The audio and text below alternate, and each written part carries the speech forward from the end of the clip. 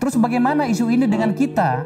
Rakyat Palestina tidak lagi dizolimi oleh Israel. Tapi kalau hanya teriak-teriak saja gimana bro? Kita akan membuka diplomasi dengan Israel kalau Palestina mendapatkan kemerdekaannya. Nah pertanyaan Anda yang terakhir itu menarik. Sekarang Palestina tidak bisa lagi mendapatkan dukungan penuh dari negara-negara Arab. Bahkan Liga Arab dalam KTT yang terakhir kan tidak bisa mengambil keputusan. Mimpi saya sekarang ini tinggal satu saja, yaitu Palestina merdeka dan yeah. saya bisa menari-nari di tengah-tengah pohon-pohon yeah. zaitun di Palestina.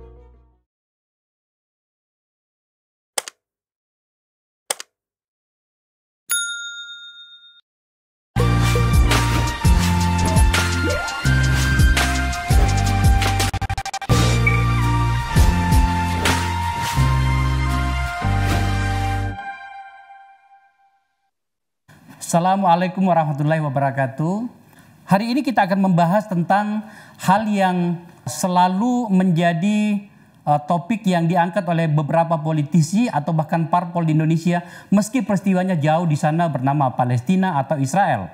Dalam hal ini adalah kita akan membahas tentang uh, beberapa negara Arab itu menormalisasi hubungan mereka dengan Israel. Lantas kalau begitu keadaannya, Bagaimana dengan isu ini yang selalu diangkat oleh beberapa pihak di Indonesia sampai itu bisa berdemo berjilid-jilid tentang itu atas nama kepedulian terhadap uh, Palestina, perjuangan Palestina. Saat ini uh, saya mendapat tamu kehormatan dubes kita di uh, Libanon, uh, Pak Hajrianto Tohari senior saya, tokoh Golkar, intelektual Muhammadiyah yang kemudian uh, saat ini menjadi duta besar di Libanon yang notabene adalah negara sangat dekat dengan uh, Israel dan tentu saja Palestina. Untuk membantu kita memberikan informasi yang berimbang, hadir pula uh, pemikir NU yang juga adalah uh, kurator Negara Institut Gus Mis alias Suhairi Misrawi. Assalamualaikum tamu-tamu saya yang terhormat. Pak Dubes, apa kabar Pak Dubes? Assalamualaikum warahmatullahi wabarakatuh. Ya, Gusmis, malam ini kita akan berbicara tentang uh, nasib Palestina dengan uh, keputusan beberapa negara di Arab untuk menormalisasi hubungan mereka dengan Israel. Kepada Pak Dubes, Pak Dubes, uh, sebenarnya apa yang melatar belakangi negara-negara Arab itu akhirnya menormalisasi hubungan dengan Israel? Terakhir kan kita dengar Uni Emirat Arab itu yang menormalisasi hubungan itu bersama dengan Bahrain yang difasilitasi oleh Donald Trump, Presiden Amerika di Washington DC, di mana kemudian uh, disebut juga uh, apa kesepakatan itu sebagai perjanjian Abraham. Kita ingin mendengarkan itu Pak Dubas karena isu Palestina itu sangat selalu mengemuka di Indonesia atas nama kepedulian terhadap umat muslim. Kalau begitu keadaannya, itu bagaimana dengan perjuangan Palestina Pak Dubas? Ya, terima kasih. Pak Akbar Faisal dan uh, Kiai eh, Zuhairi Misrawi. Sebetulnya dengan Pak Kiai Zuhairi Misrawi udah lebih dari cukup itu. karena ya, beliau ya, lama di laporan dari lapangan.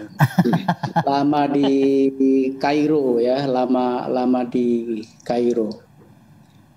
Ya, benar sekali bagaimana perkembangan terakhir normalisasi normalisasi apa hubungan karena memang eh, terjadi terutama menumpuk pada tahun 2020 yaitu ketika Amerika Serikat di di apa dipimpin oleh Presiden Donald Trump. Yeah.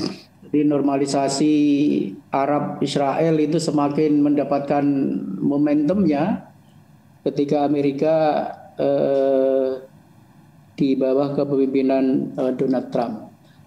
Ada banyak ada banyak ada banyak faktor ya yang yang menjadikan negara-negara Arab mulai melakukan eh, perdamaian dan normalisasi hubungan dengan Israel itu.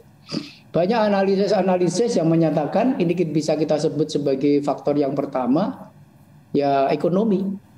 Nah, Arab Center for Research and Policy Studies ini sebuah lembaga kajian di negara Arab itu menyatakan normalisasi Israel dengan negara Arab didorong oleh faktor ekonomi, khususnya dipengaruhi oleh peningkatan kerjasama ekonomi antara Israel dengan negara Arab yang sangat signifikan dalam beberapa tahun terakhir. Kita bisa lihat misalnya di tahun 2018 perusahaan Mesir Dolpinus itu menandatangani kesepakatan kerjasama dengan perusahaan Israel Delek Drilling LP namanya itu bernilai 15 miliar US dollar di mana Delek uh, Drilling LP akan mensuplai uh, gas alam ke Mesir. September 2016 jadi dua tahun sebelum itu perusahaan listrik negara Jordan itu juga menandatangani kesepakatan kerjasama dengan perusahaan energi milik Amerika Serikat yang berbasis di Israel. Ya untuk mengimpor gas alam cair dari Israel, Israel bernilai 10 miliar dolar. Hmm. Menteri Perekonomian uh, Emirat itu menyatakan bahwa normalisasi kedua negara akan membawa dampak signifikan terhadap kerjasama ekonomi yang diperkirakan akan mencapai lebih dari 500 juta dolar hmm. US dollar dalam waktu dekat. Sementara Menteri Kerjasama Regional Israel menyatakan ia berharap kerjasama perdagangan dan investasi bernilai miliar dolar, miliaran dolar Amerika Serikat dengan Bahrain dapat segera diwujudkan. Ya, ya Pak Dubes gini, uh, sebelum saya uh, membawanya ke situasi kita, uh, psikologi politik kita di Indonesia, di mana Palestina selalu menjadi uh, salah satu isu yang uh, menarik bagi banyak politisi di sini.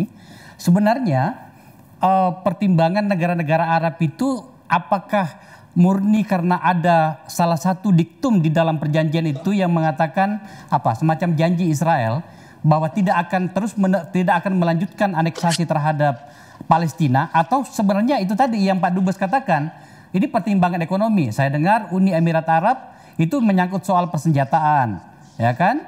Kemudian uh, Sudan itu juga seperti itu. Jadi sebenarnya ini apa ini? Pertanyaan berikutnya adalah, kalau begitu keadaannya, siapa teman Palestina sekarang di sekitar Jazirah Arab itu? Sebelum saya masuk ke wilayah Indonesia, nanti saya akan minta Gus Mis untuk berbicara soal itu. Ya, ya. Uh, yang pertama memang faktor ekonomi ya. Saya rasa itu real dan seperti diakui oleh Menteri uh, Perdagangan uh, Emirat juga sudah uh, mengakui itu, Israel juga mengakui itu, angka-angka itu juga juga berbicara. Tapi ada faktor yang kedua yaitu uh, definisi ancaman uh, apa definisi ancaman terhadap dunia Arab itu juga mengalami perubahan. Hmm. Ya selama ini Israel dengan Zionismenya itu adalah ancaman yang sangat berbahaya bagi Arab. Ini bisa dibaca dalam banyak tulisan, bahkan yang paling klasik sekalipun misalnya uh, Philip Kahiti dalam History of the Arab ya itu ada dia dia sudah menulis itu bahwa bahwa bagi Arab uh, Zionisme Israel itu ancaman yang sangat berbahaya. Yeah. Tapi pada tahun-tahun berakhir ini ancaman terhadap Arab kan mengalami pergeseran, yaitu Iran. Ya. Hmm. Jadi jadi Iran ya didefinisikan oleh Arab sebagai ancaman baru yang bahkan lebih berbahaya daripada Israel. itu dia. Ya, lihat saja misalnya Qatar. Qatar itu dihukum oleh aliansi eh, empat negara Arab Teluk ya tiga negara Arab Teluk plus Mesir itu karena salah satunya adalah anggapan terlalu dekat dengan Iran hmm. ya terlalu dekat dengan Iran sehingga dalam bahasa komunikasi politik internasional berdekatan dengan Iran itu didefinisikan sebagai apa berdekatan dengan terorisme hmm. uh, gitu kan uh, dan itu ya nyata sekali mau ketakutan terhadap Iran itu luar biasa. Ya mungkin dimulai dari sejak perang eh, tahun 80 antara Irak dengan Iran ketika Irak dipimpin oleh Saddam Hussein. Itu kan seluruh kekuatan Arab berada di belakang eh, Irak. Toh itu mengalami keteteran padahal waktu itu kita tahu perkembangan uh, industri persenjataan di Iran juga masih sangat terbatas. Itu baru awal-awal setelah revolusi 79 ya. Iya. Nah, kita tahu bagaimana dukungan negara Arab terhadap uh, Amerika di bawah Trump yang menarik dari perundingan nuklir yang dihasilkan pada waktu uh, Presiden Obama itu itu kan sangat sangat kuat sekali. Hmm. Ya bayangkan Qatar itu pesawat uh, di embargo pesawatnya tidak boleh bahkan pesawat reguler mereka tidak boleh uh, ber apa uh, mendarat di bandara-bandara negara Arab tersebut. Ya bahkan melewati udara saja tidak boleh sehingga kalau kita ke Beirut dari Indonesia naik Qatar itu mendarat di Doha transit lalu ganti pesawat itu mestinya dua jam tidak ada itu sudah mendarat di Beirut hmm. tetapi itu melewati wilayah udaranya Arab Saudi tapi karena tidak boleh dia memutar kan lewat apa itu uh, lewat teluk lewat teluk Arab uh, bahkan kadang-kadang di atas daratan melewat atas wilayah udaranya Iran terus ke utara masuk wilayah Turki, belok ke kiri beberapa waktu, kemudian baru belok ke kiri lagi, mutar balik untuk masuk ke Beirut. Sehingga waktunya bisa hampir 4 jam. Wah, gila ya. Nah, sementara iya. dengan dengan dengan dengan Abraham Accord maka kemudian uh, perdamaian dengan apa normalisasi dengan uh, uh, uh, uh, dengan Emirat maka pesawat dari Tel Aviv langsung ke Dubai lewat daratan wilayah udara negara Arab itu. Itu dia. Uh-huh. Ya, tapi sekarang udah mau berdamai ini. Kemarin KTT GCC, KTT negara-negara Arab Teluk sudah mulai normalisasi lagi hubungan empat negara dengan Qatar. Mungkin itu juga ada pengaruhnya dengan perubahan konstelasi politik di Amerika. Uh-huh. Yang ketiga, Ya, saya rasa apa yang disebut dengan apa dengan uh, solidaritas Arab uh, itu juga sejak terjadinya invasi Irak ke Kuwait itu ya sebetulnya sudah berakhir. Hmm. Karena sebetulnya ketika uh, kan Liga Arab itu dibentuk untuk menghindari peperangan atau konflik Eh, bersenjata antar negara Arab. Hmm. Tapi eh, Liga Arab yang didirikan tahun 45 dengan tujuan seperti itu kan itu sudah uh, tercederai dengan serbuan Irak ke Kuwait. Dan setelah itu kita tahu terjadi perang Suriah di mana aliansi dan realiansi itu kan berubah-ubah. Ya, betul. Uh, di di di Suriah itu. Setelah itu diikuti dengan peristiwa apa perang uh, pemerintah zaman dengan Houthi. Kemudian setelah itu Libya. Wah, itu Libya itu lebih seru lagi karena di di Libya ini uh, apa uh, Turki juga bermain. Uh, ya sehingga praktis apa yang disebut dengan solidaritas Arab itu ya rapuh sekali Bahkan Liga Arab dalam KTT yang terakhir kan tidak bisa mengambil keputusan terhadap usulan Palestina untuk mengecam normalisasi tersebut.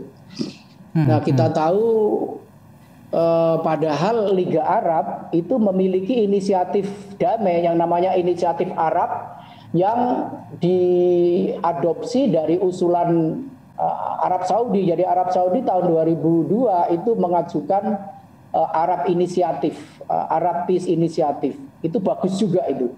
Hmm. Tapi kan ditolak secara kategoris oleh uh, Israel. Padahal itu diadopsi oleh Liga Arab tahun 2007. Walhasil hmm. itu kuat kuat kuat banget itu, tapi disepelekan saja oleh Israel dan oleh oleh Amerika. Itu ketika usulannya itu nggak dipedulikan, ini ada usulan dari Amerika hmm. itu yang sangat isinya itu ya sangat ini pada Palestina ya. Yeah. Itu malah malah ada banyak di antara mereka yang mendukung. Nah, pertanyaan Anda yang terakhir itu menarik. Ya, sekarang terus Palestina itu dengan siapa? Ya, sekarang Palestina tidak bisa lagi mendapatkan dukungan penuh dari negara-negara Arab. Ya, setidak-tidaknya eh, apa yang didefinisikan sebagai musuh Palestina yaitu Israel itu tidak lagi dipandang dan didefinisikan sebagai musuh ya, oleh itu dia. negara-negara Arab yang penting. Itu dia, itu dia. Nah makanya, ya. jadi Pak Dubes hmm. uh, kita akan uh, apa mempertemukan nanti antara kondisi di sana di Arab dengan Indonesia. Saya ke Gus Mis. Hmm. Gus Mis ada dua pertanyaan sebenarnya Gus. Yang pertama, ini sedikit agak berbau uh, wilayah diplomasi internasional kita menyangkut ini ya. Apakah betul ada upaya untuk melobi pemerintah kita untuk berdamai dengan Israel? Konon kabarnya ada jalan di sana yang memberikan nama presiden kita, itu bagian dari situ, itu memang uh, terjadi. Yang kedua, ini yang paling uh, mendasar. Lantas kalau begitu adanya, masihkah relevan untuk menjadikan isu Palestina itu menjadi sebuah isu yang bisa dipolitisasi oleh beberapa pihak di Indonesia. Kita tahu siapa mereka-mereka yang biasa menggunakan isu Palestina untuk itu. Gus. Terima kasih, Bro. Uh, Akbar dan Pak Dubes. Yuk. Pak Dubes lebih sehat di Libanon. Amin. Alhamdulillah. Amin. Iya. Karena dulu sering jumpa di MPR waktu Pak Dubes jadi pimpinan MPR. Iya. Nah, uh, apa kalau saya ingin menambahkan apa yang disampaikan oleh Pak Dubes dan uh, kemudian mengkonfirmasi tesisnya Pak Dubes tadi bahwa uh, di balik ini semua uh, ada aktor penting yaitu Arab Saudi bahwa uh, Arab Saudi ingin mengukuhkan uh, uh, kekuasaannya di Timur Tengah sebagai salah satu proksi Amerika, Amerika Serikat dan sekutunya di Timur Tengah. Jadi Eh, dari Saudi kemudian eh, Pak Dubes tadi menyampaikan yaitu Uni Emirat Arab yang tadi Bro uh, Akbar mengatakan ada beberapa proses-proses uh, uh, yang dilakukan oleh uh, kedua negara ini. Tentu kalau kita bicara Arab Saudi dan Uni Emirat Arab maka kita melihat bagaimana investasi yang akan di di apa diluncurkan ke Indonesia dalam konteks uh, cipta kerja Bro Akbar. Jadi uh, itu yang terjadi dan kemudian uh, ini dikonfirmasi oleh Israel sebenarnya hmm. yang uh, Israel mempunyai inisiatif keinginan sejak lama untuk membuka hubungan normalisasi karena Indonesia sebagai salah satu uh, negara muslim terbesar uh, di dunia sehingga hmm mempunyai legitimasi. Tetapi ini digunakan oleh Arab Saudi karena kita tahu bahwa begitu banyak eh, apa analisis di Timur Tengah sendiri nanti Pak Dubes bisa mengkonfirmasi bahwa nanti puncaknya itu kalau dalam bahasa eh, pernikahan itu ijab kabulnya nanti itu adalah Arab Saudi dengan Israel. Hmm. Nah eh, maka eh, eh kita melihat bahwa beberapa rencana misalnya investasi yang akan ditawarkan ke Indonesia sekitar eh, sekitar 80 triliun Bro Akbar itu eh, kalau kita berdamai dengan Israel. Dengan, apa, eh, Israel. Ya, jadi memang eh, tetapi eh, konteks politik di dalam negeri memang sangat tidak dimungkinkan karena pembukaan undang-undang dasar kita, sejarah konferensi Asia Afrika, konferensi negara muslim Asia Afrika, yang paling berat, Bro Akbar pasti tahu 2014, janji Presiden Jokowi. Mm-hmm. Di Cemara, Bro. Yeah, yeah, janji yeah. Presiden Jokowi itu harus bersama dengan eh, apa mendukung kemerdekaan Palestina dan menentang penjajahan Israel. Jadi mm. eh, terjadi, saya mendengar telah terjadi lobby-lobby yang eh, sangat tinggi, mm. tetapi kemudian eh, Presiden Jokowi mengambil sikap untuk menolak tawaran eh, yang begitu besar eh, 80 triliun yang dijanjikan untuk Indonesia. Itu dari dan, mana itu 80 eh, triliun itu, Bro? Eh, 80 triliun itu gabungan Amerika, Uni Emirat Arab dan Arab Saudi, Bro. Oke. Okay. Nanti juga uh, pasti Israel uh, itu itu apa mahar yang dijanjikan untuk kerjasama uh, apa uh, dengan kita. Nah, uh, pertanyaan yang kedua, apakah uh, uh, ini relevan uh, uh, berbicara konteks Palestina, tentu bagi kita sangat relevan tadi, sangat relevan bro, karena uh, uh, kita mempunyai undang-undang dasar, lalu kemudian kita mempunyai sejarah sejak Bung Karno Afrika dan janji politik presiden bro. Uh-huh. Sebab uh, itu dokumennya masih ada, bro pasti tahu itu. Uh. Dan uh, ini tentu uh, apa uh, kemudian mengunci uh, berbagai peluang-peluang yang uh, tadi uh, Pak Dubes menjelaskan uh, secara ekonomi mungkin uh, Pak Dubes bisa menjelaskan memang memang baik karena nah Kenapa kemudian negara-negara Timur Tengah itu tadi itu tadi eh, Pak Dubes mengatakan yang pertama, yang kedua Pak Dubes slide-nya tentang Iran, memang mereka ingin mengisolasi Iran dalam pergaulan eh, eh, geopolitik Timur Tengah. Tetapi ada satu lagi sebenarnya yang menurut saya juga penting, yaitu adalah eh, rezim-rezim monarki di Timur Tengah itu ketakutan dengan perkembangan dunia digital Bayangkan hmm. kalau di negara di Arab Saudi, Uni Emirat Arab ada model Akbar Faisal unsensor misalnya. itu mengancam rezim-rezim monarki, Bro. Oh iya, iya, iya. Mereka maka maka ya kenapa mereka ingin bekerja sama dengan Israel? Karena Israel punya artificial intelligence yang yeah. bisa yeah, yeah, yeah. sewaktu-waktu men-take down media sosial. Bagaimana, Bro? Tiba-tiba ketika ada kasus-kasus yang korupsi lah, pembunuhan yang dilakukan oleh rezim-rezim, itu akan muncul akun-akun di Twitter yang mendukung rezim, bro. Hmm, Kita nggak hmm. tahu, tiba-tiba akun-akun yang selama ini anti pemerintah atau hmm. akun-akun uh, tokoh-tokoh, tiba-tiba muncul mereka mendukung rezim monarki. Jadi hmm. Uh, negara rezim-rezim monarki sadar betul mereka tidak bisa menghadapi perkembangan uh, artificial intelligence dan uh, dunia digital yang sangat luar biasa, sementara teknologi digital yang paling canggih di dunia, saya kira bukan hanya di Timur Tengah, itu dimiliki oleh Israel. Ya, ya. Ada banyak faktor dan tentu eh, saya melihat eh, di pihak Israel kecewa karena Indonesia menolak. Lalu kemudian tetapi eh, keputusan Indonesia disambut baik oleh Palestina. Karena ya. bagi mereka ini ada nyawa baru. Nya, nyawanya hampir habis. Gus, gini, pertanyaannya kan begini. Oke okay lah, kita adalah sa saudara, sahabat sejati uh, Palestina. Tetapi pertama faktor jarak, kita terlalu jauh. Yang kedua kepentingan langsung tidak ada. Kalau hanya semata-mata semangat saja, itu tidak cukup signifikan. Lawang di Arab sendiri kok dia ditinggalkan gitu.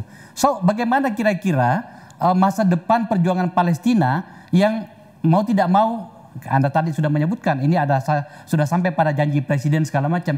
Bagaimana itu masih bisa disepakati ke depannya ketika Arab sendiri sudah meninggalkan Palestina? Jadi begini, setelah Trump ini kocok ulang, Bro. Oke. okay. Karena ini ini perka kawin paksa. Kawin paksa yang diinisiasi Jared Kushner. Nah, setelah Trump setelah Joe akan terjadi satu perubahan karena kenapa? Kelemahan dari normalisasi tadi itu itu tidak melibatkan Palestina. Palestina dianggap oleh Israel tidak ada. Nah, skenario yang ingin dibangun oleh oleh Biden, eh, saya besok menulis di detik eh, tema ini, yaitu skenario di mana Palestina harus dilibatkan dalam proses-proses politik yang terjadi di Timur Tengah. Nah, sekarang kan sejak Trump berkuasa, itu kebijakan Trump itu unilateral sepihak. Hmm. Maka uh, uh, Joe Biden akan akan apa akan uh, me, mereformasi, memperbaiki dengan melibatkan uh, Palestina uh, sebagai pihak yang yang juga harus didengarkan pendapatnya termasuk masa depan two state solution, solusi uh, apa damai dua negara di Timur Tengah. Kalau kemudian ternyata betul-betul uh, janji Israel tidak akan melanjutkan aneksasi di wilayah-wilayah uh, Palestina dan kemudian uh, lobby-lobby para pihak untuk meyakinkan kita bahwa Israel sudah sampai di situ saja. Apakah ada kemungkinan menurut Anda perubahan kebijakan luar negeri kita menyangkut isu ini? Tidak mungkin, tidak ada celah begini. Karena kalau kita melihat peta politik di Israel juga, peta politik di Israel sekarang dikuasai oleh sayap kanan, fundamentalis hmm. partai salap kanan Yahudi di Israel yang di antara misi utamanya melanjutkan aneksasi di tepi barat. Jadi aneksasi di tepi barat itu menjadi kampanye politiknya uh, Netanyahu uh, akan digelar pemilu dan sudah disepakati oleh Knesset parlemen Israel bahwa prioritas utama itu adalah aneksasi pembangunan ilegal di tepi barat, bro. Jadi ini ini memang uh, buah simalakama. Nah sekarang sekali lagi uh, masa depan uh, hubungan ini tergantung Amerika dan uh, terjadi perkembangan. Kalau seandainya Trump menang kemarin, bro, maka akan melinding tadi disebut oleh Pak Dubes Sophocles Koren itu, Jill of Century itu akan menggelinding.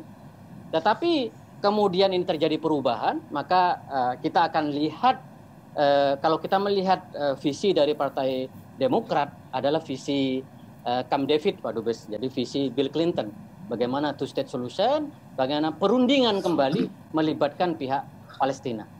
Pak Dubes, kalau menurut menurut hitungan Pak Dubes di sana, tadi kan dikatakan bahwa ini akan mengelinding terus, tidak hanya beberapa negara ini saja. Kalau ternyata betul-betul uh, agenda-agenda yang sedang berjalan itu semakin bisa mempengaruhi negara-negara di sekitar situ, tentu saja minus Iran ya. Itu jadi gimana dengan isu Palestina kira-kira Pak Dubes? Ya, ya memang uh, itu bisa menjadi sebuah apa ya sebuah diskusi dan perdebatan yang cukup uh, hangat ya menganut isu itu. Tetapi kan kira-kira begini bahwa Indonesia, Republik Indonesia sebagaimana dulu ditegaskan oleh Bung Karno dan terus dipertahankan sampai sekarang itu kan mendukung Palestina itu bukan karena negara-negara Arab mendukung Palestina. Ya. Ya, tetapi memang memang original uh, dan otentik mendukung uh, Palestina. Jadi memang tidak akan secara historis tidak akan terpengaruh oleh perubahan dari negara-negara Arab. Ya karena memang definisi dalam berbagai hal Eh, negara-negara Arab uh, memang juga mengalami perubahan yang sangat drastis definisi ancaman definisi kepentingan nasional yeah, yeah. Uh, itu juga uh, ber, berkembang secara drastis salah satunya tentang misalnya demokrasi dan sebagainya itu tadi HAM dan sebagainya walaupun memang di dunia Arab sekarang ini isu demokrasi HAM dan sebagainya itu tidak seksi lagi tidak menarik. Oleh karena negara-negara yang justru berhasil uh, dalam pembangunan terutama pembangunan ekonomi adalah negara-negara Arab yang dibilang oleh Kiai Zuhairi Misrawi monarki itu yang perilaku sehari-harinya sangat tradisional dalam berpakaian ya pakaiannya mereka tetap bertahan dengan pakaian tradisional tetapi bayangkan itu kemajuan perekonomian ilmu pengetahuan dan teknologi itu luar biasa di negara-negara ya. itu Yeah. Emirates itu salah salah satu jagonya. Emirates itu bulan Juli 2020 itu meluncurkan Hope Probe, itu misi antar planet pertama dunia Arab. Ya, ya, betul. Ya, yang diperkirakan akan mencapai orbit Mars itu pada Februari 2021. Agustus 2020 itu Emirates itu sukses mengoperasikan Barokah Nuclear Energy Plant yang akan menghasilkan 25% persen dari kebutuhan listrik. Belum lagi kalau dihitung pendapatan per kapita dan sebagainya. Dari the best 10 universitas di Timur Tengah itu tiga di antaranya itu di di Emirates, yeah. di, di, di Emirates. Wah itu luar biasa dan termasuk kemajuan di bidang pendidikan sampai uh, sudah mulai ada keluhan-keluhan dan kekhawatiran-kekhawatiran tentang semakin uh, terpinggirkannya bahasa Arab ya ya karena pendidikan yang berhasil itu membuat rakyat mereka itu castistus itu ngomong ngomong Inggris itu yeah. ya ya itu dan itu luar biasa Ya. Uh, dan perlu diketahui MBZ, MBZ ini lulusan uh, Sunrise, uh, sekolah militer di Inggris.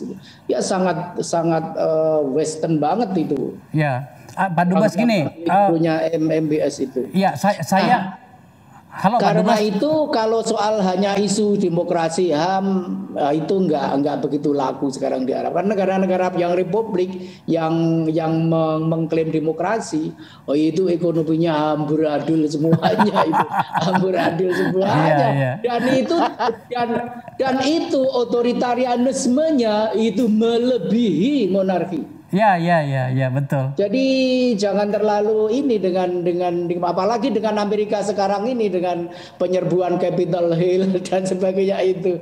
Ah, itu harga demokrasi itu sudah turun banget sekarang. Ya. Kalau membaca isu yang berkembang mereka juga mungkin capek juga melihat uh, Palestina sendiri tidak cukup maju di dalam mengelola isu tentang mereka.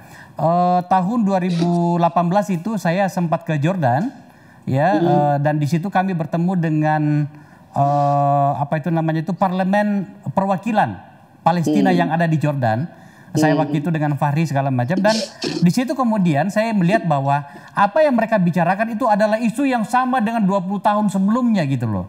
Nah, kalau begitu keadaannya, kelihatannya memang Israel apa namanya Palestina itu akan semakin uh, terpinggirkan karena tidak ada upaya bagi mereka juga untuk mungkin berpikir lebih moderat dan segala macam menghadapi Israel. Saya ke Suhairi Misrawi. Bro, kalau begitu keadaannya, uh, bagaimana dengan tadi yang saya katakan tadi Anda tidak menjawabnya. Katakanlah misalnya PKS, kita kan tahu ya PKS sering menjadikan uh, isu ini sebagai salah satu uh, isu yang mereka apa namanya angkat ya. Uh, bagaimana selanjutnya ketika itu tadi yang saya katakan negara-negara Arab malah semakin meninggalkan uh, Palestina? Ya, uh, apa selanjutnya kenapa kemudian dalam uh, lima tahun terakhir kita tidak melihat gelombang demo yang begitu besar seperti tahun-tahun sebelumnya? karena uh, isu Palestina udah dihandle oleh pemerintah dalam hal ini Presiden Jokowi sejak tahun 2014 itu bro hmm. sehingga kemudian dan uh, uh, Pak Jokowi di awal mengadakan konferensi Asia Afrika kalau bro masih ingat lalu yeah. kemudian pidato-pidato Presiden Jokowi di uh, OKI forum-forum OKI itu begitu keras terhadap Israel bahkan uh, kita sebagai anggota Dewan Keamanan PBB eh, sekarang isu yang kita usung juga isu Palestina. Jadi eh, situasi politik di Indonesia di dalam negeri yang begitu mereda dari kelompok-kelompok kanan, kalau kita anggap kelompok-kelompok kanan atau ekstrim, karena pemerintah dalam 50 terakhir mengambil alih peran itu. Eh, dan oleh karena itu memang sekarang kalau kita melihat di, di, di Timur Tengah, eh, nanti Pak Dubes bisa menjelaskan bagaimana eh, tanggapan mereka terhadap kita. Tetapi mereka melihat Indonesia dalam isu Palestina itu relatif konsisten, istiqomah dia, bro. Bagaimana sikap membela Palestina uh, dan ini apa uh, memberikan harapan baru bagi negara-negara yang kontra Israel, misalnya uh, kenapa Presiden Turki Erdogan dengan kita begitu dekat karena kita punya titik temu walaupun sebenarnya apa Turki mempunyai hubungan diplomasi sama Israel. Nah, apa kita punya irisan di situ, bro. Lalu kemudian dengan Iran kita punya irisan yang yang sama. Jadi uh, ini situasi yang susah sekali untuk melihat bagaimana uh, apa masa depan uh, Israel dengan Palestina karena sekali lagi seperti yang saya katakan sangat ditentukan oleh Amerika Serikat. Gak, Biasanya gak, Gus, kebijakan Gus. Amerika Serikat. Gak, saya pertanyaan saya itu ke begini. Tadi tadi kan eh, saya katakan bahwa isu tentang Palestina itu sering dijadikan uh, sebuah uh, isu uh, politik uh, oleh beberapa pihak di sini. Kalau ternyata pada akhirnya nanti negara-negara Arab itu sendiri tanda petik meninggalkan isu Palestina atas berbagai kepentingan dan uh, urusan mereka masing-masing domestik mereka di hadapan Amerika dan Israel. Terus bagaimana isu ini dengan kita? Eh, kan kita tidak hanya bisa berteriak-teriak, kan harus ada tujuan. Tujuannya adalah bagaimana masyarakat Palestina, rakyat Palestina tidak lagi di dizolimi oleh Israel. Tapi kalau hanya teriak-teriak saja gimana, Bro? Iya, jadi begitu, Bro. Jadi sudah dikatakan oleh Kementerian Luar Negeri bahwa ada satu syarat. Kita akan membuka diplomasi dengan Israel kalau Palestina mendapatkan kemerdekaannya. Jadi itu bro. Jadi itu garis merah benang merahnya. Selama eh, Palestina belum merdeka, maka Indonesia tidak akan memberikan karpet merah untuk membuka hubungan dengan eh, eh, apa dengan eh, Israel. Nah ini sesuatu yang tidak mudah bro. Karena ketika kemerdekaan Palestina itu diberikan, maka tadi tadi aneksasi tepi barat itu akan berhenti, lalu kemudian Palestina bisa militer ya kan. Nah, sekarang kan uh, hanya milisi yaitu Hamas gitu.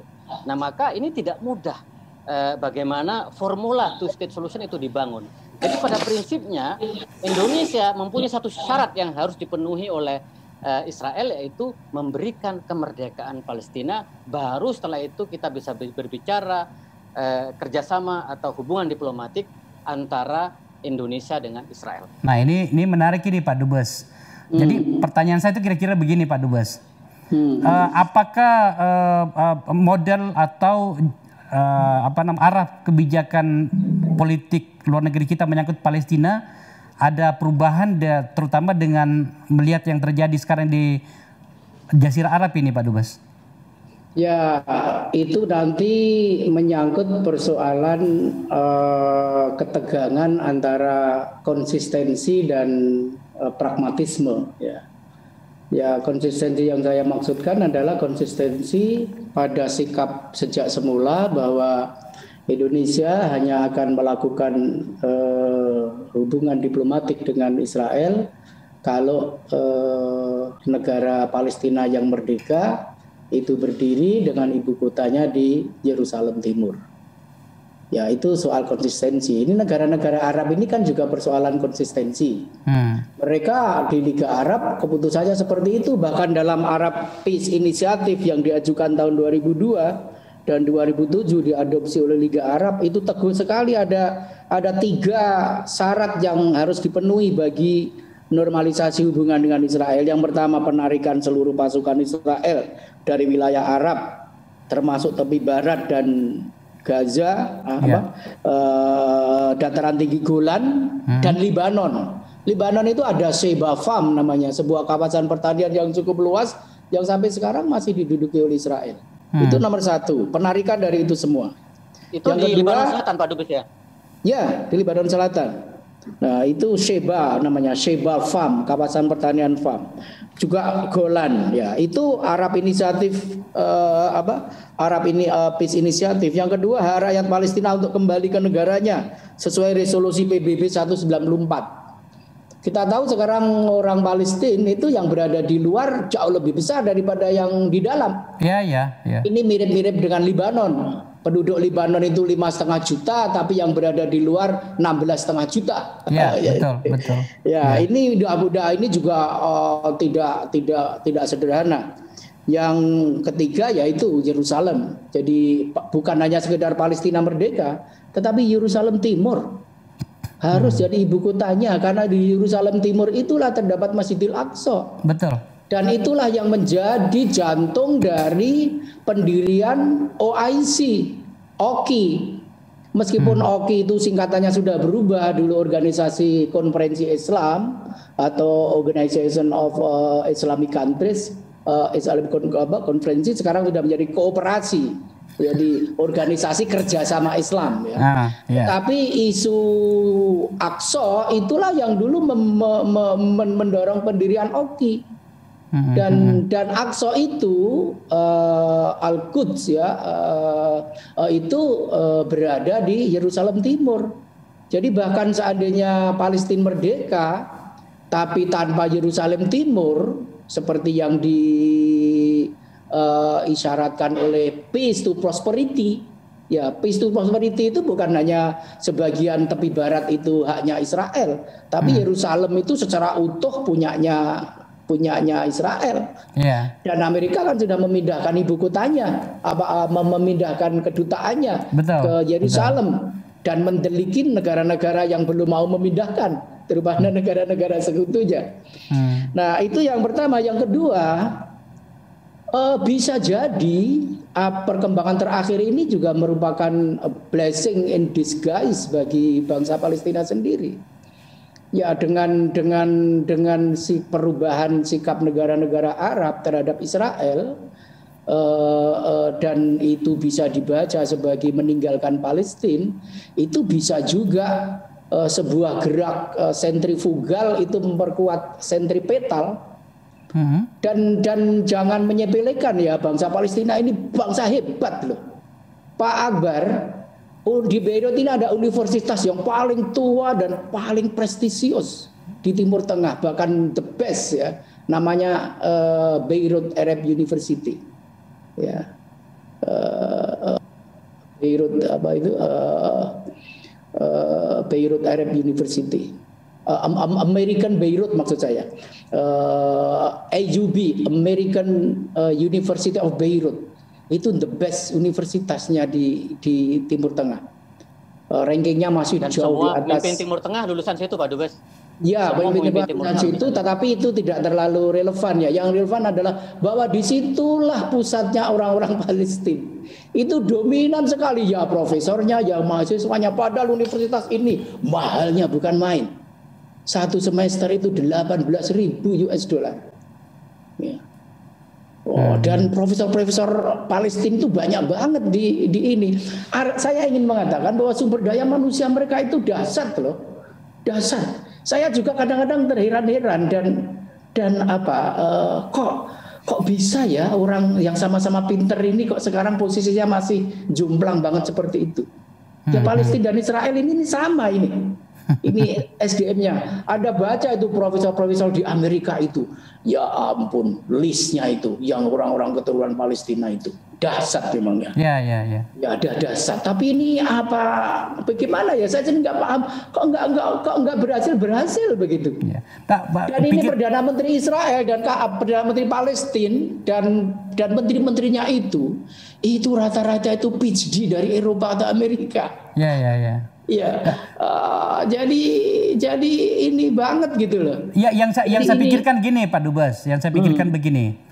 Eh, kalau melihat ya, saya tidak melihat ada ada ada peluang eh, ketenangan di Arab meskipun ada perjanjian ini Abraham eh, perjanjian Abraham ini selama Lebanon terutama Hezbollah masih berada pada posisi seperti hari ini kekuatan militer Iran juga masih semakin menguat sementara itu adalah musuh bebuyutan itu ya saya tidak melihat itu ada, akan ada pertemuan apa ujungnya maka kemudian eh, Palestina akan semakin menjadi bulan-bulanan sebab hanya dijadikan semacam isu antara saja. Ya, Lah, betul, betul, saya saya betul. akan saya akan kembali ke Indonesia. Kalau bisa begitu, bisa saya saya ingin menambahkan sedikit Bung Bung, Yeah. Bung Bung Bung Akbar. Jadi itu sama. Jadi Israel itu juga perdamaian itu luar biasa menjadi aspirasi yang paling utama. Dia juga tidak akan tentram tanpa ada perdamaian ini. Iya, iya, tentu Termasuk di dalamnya dengan dengan bangsa Palestina. Dan satu-satunya negara yang yang jumlah negara yang belum mengakui sangat besar itu kan sekarang itu Israel. Ya. Yang kedua, jika persoalan Palestina ini tidak bisa diselesaikan, ya ini memang menjadi aibnya modernisme. Iya, iya. Aibnya zaman yang dikatakan beradab ini, aibnya PBB luar biasa juga. Betul, betul, betul. bisa misalkan ini, ini cacat dunia beradab itu adalah persoalan Palestina. Dan karena itu memang Israel itu ibaratnya dengan harga berapapun perdamaian itu akan dia beli. Iya. Betul. Ya, tetapi asal aspirasi mereka eh, terhadap eh, tanah yang dijanjikan ini eh, itu eh, yang memang menjadi rohnya kan. Ya. Ya sebetulnya kan itu juga disadari betul dalam Peace to Prosperity dan Abraham Accord. Abraham Accord ini kan sebetulnya kan diolah oleh oleh eh, penasihat senior eh, Jared Kushner Ya. yang juga eh, bagian dari Yahudi Internasional. Betul. Yang karena itu maka memang ini disusun dari perspektif mereka. Betul. Dan karena itu sebetulnya Abraham Accord itu ya sebetulnya untuk melengkapi saja eh, peace to prosperity. Jadi Hmm. untuk memperoleh sebuah apa ya? Kalau dalam ininya eh, Pierre Bourdieu itu apa? Memerlukan habitus ya, habitus baru Hmm. eh, agar ini memang diterima maka jadi Abraham Accord. Karena sebelum ada Abraham Accord konsep-konsep selama ini adalah konsep-konsep yang boleh dikatakan berakar pada uh, uh, Judeo-Christian civilization Iya. gitu. Yang itulah proyeknya namanya Israel.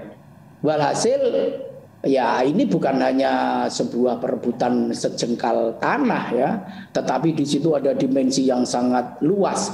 Nah, Indonesia posisinya memang menjadikan isu itu sebagai jantung politik luar negeri. Betul. Eh, Menlu kita selalu mengatakan bahwa Palestina adalah jantungnya politik luar negeri Indonesia.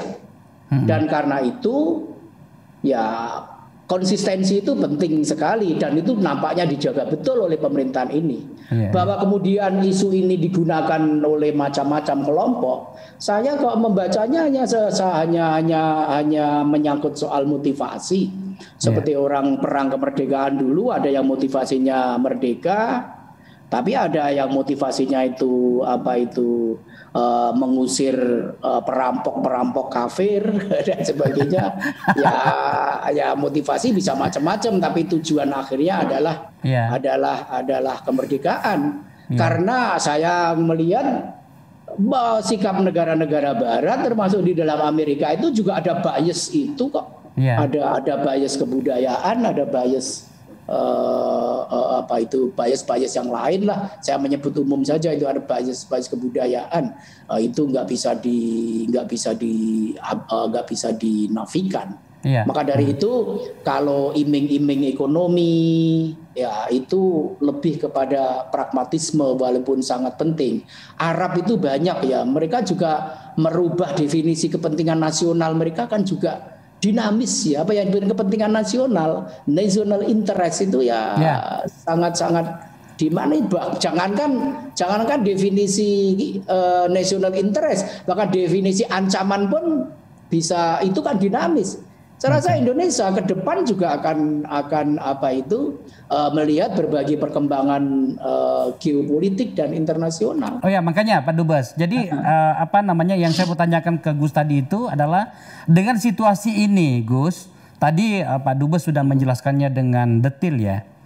Saya membayangkan bahwa tugas dan tanggung jawab atas nama janji kita kepada rakyat Palestina dan dunia Islam untuk menjaga martabat Palestina, terutama Yerusalem Timur yang ada uh, masjid di sana, masjid yang satu dari tiga yang harus kita kunjungi sebagai umat Muslim gitu ya, itu harus lebih keras, ya harus lebih keras. Nah, apakah menurut anda itu uh, Kementerian Luar Negeri kita dalam hal ini sebagai wakil dari pemerintah kita untuk isu ini sudah menambah, menambah speed untuk memperjuangkan itu dengan melihat perkembangan yang ada di Arab sana?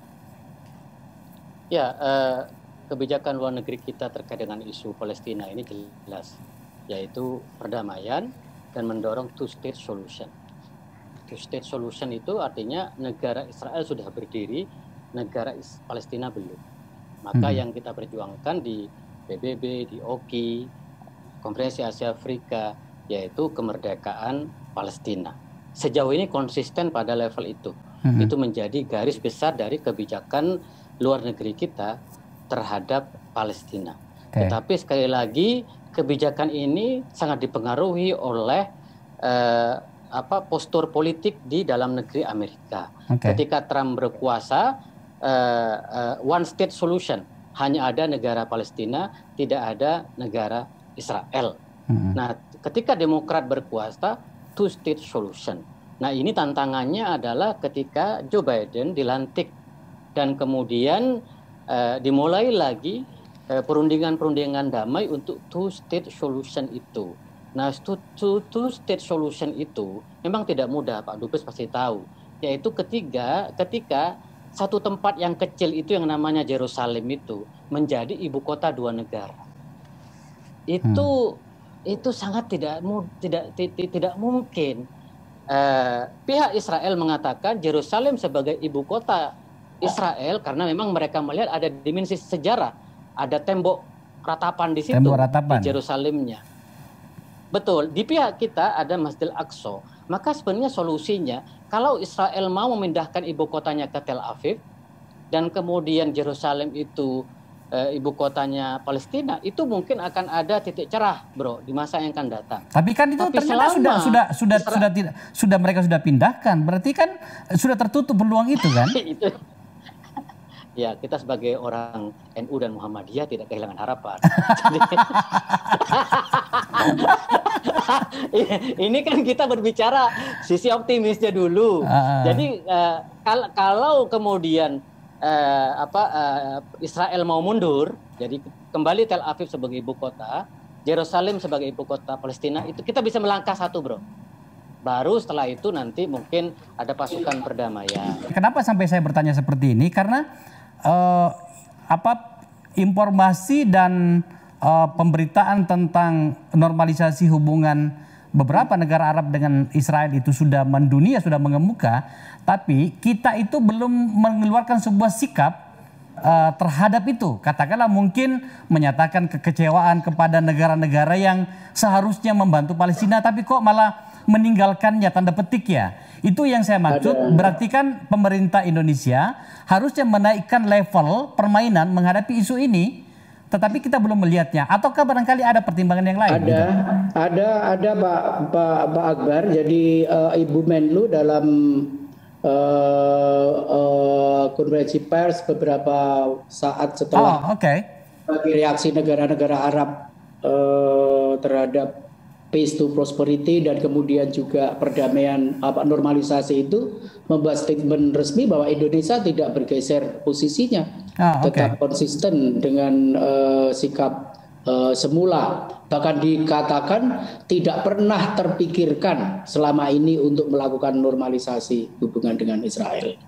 Nah yang kedua uh, kalau Amerika dan Israel selalu mengedepankan pendekatan kekuatan, ya itu namanya tidak mencari solusi. Yeah. Ya, karena sekarang ini kalau pendekatannya ke, ke kekuatan militer, ya Israel itu adidaya Timur Tengah sekarang. Betul. Bukan hanya sekedar lebih kuat, tapi adidaya. Ya. Jadi di atas wilayah Libanon ini ya hampir setiap hari.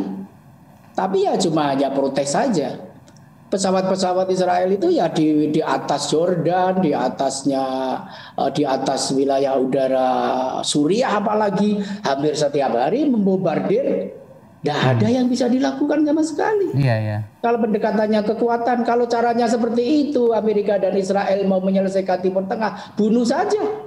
Hmm. Ya, dengan kekuatan yang kalian miliki, itu biar nanti jadi Hitler kedua atau Hitler ketiga.